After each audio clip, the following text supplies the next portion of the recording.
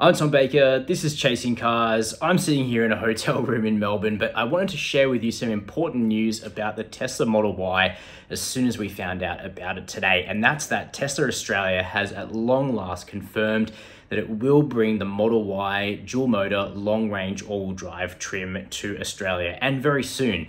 Tesla says the first customer deliveries of the Tesla Model Y long range will be possible locally in May or June. Now, I understand that to be very late May early June is more likely for really the bulk of the first customer deliveries, but it means that cars are already on their way here but online ordering has only just opened about 30 minutes ago. As of right now, here in Australia, the date is the 4th of April.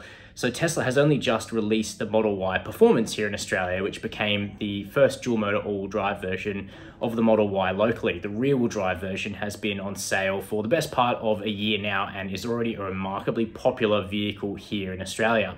Now, I've just reviewed the Model Y Performance out here in Australia, and you can catch that review on the Chasing Cars channel. I liked the car. It's rolled in from Giga Shanghai with the suspension upgrade that was first seen from Giga Berlin. So it's exactly what we're expecting from the non-performance long range all-wheel drive. But to say the long range is, is not a performance SUV would really be a misnomer. It might not be as red hot as the Model Y Performance, but it's still extremely powerful as mid-size SUVs go. The basic specs are a single motor on the rear, a smaller motor on the front, and it's packing 378 kilowatts of power and 493 newton meters of torque or thereabouts. Tesla doesn't publish power and torque. Those are the known specs for the long range. They might vary a little bit either way, but a 378 kilowatt midsize SUV, well, that's way more power than you get from something like an Audi SQ5. It's not quite as much as the 413 kilowatts in the performance, but you're not going to be far behind that car.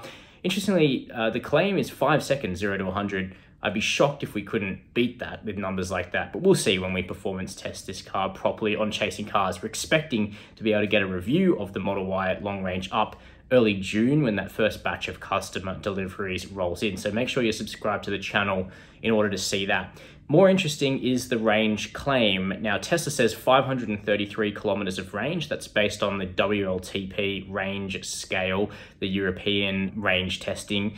Now, we know that usually the real range falls some way short. So with the performance, that has 511 Ks of range WLTP.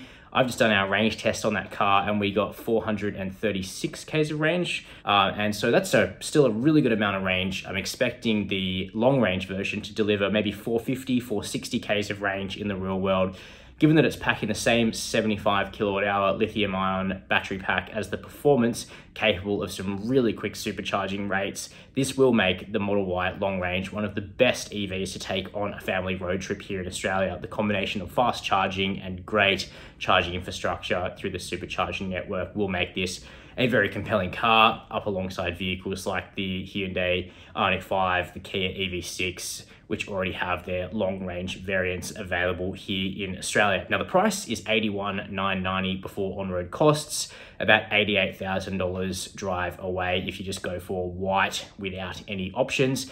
User choosers who are selecting a vehicle to lease can actually squeeze into a Model Y long range for under the luxury car tax threshold therefore getting an FBT waiver here in Australia, but only if you choose a white Model Y long range with no options. Select any of the other colors and it will fall over the LCT and you won't be able to get the FBT waiver. But that's still a very competitive price up against vehicles like the long range all drive version of the Kia EV6, for instance. You can really see Tesla have sort of pegged it in that emerging 80 to 90 grand long range SUV uh, segment for electric vehicles here in Australia.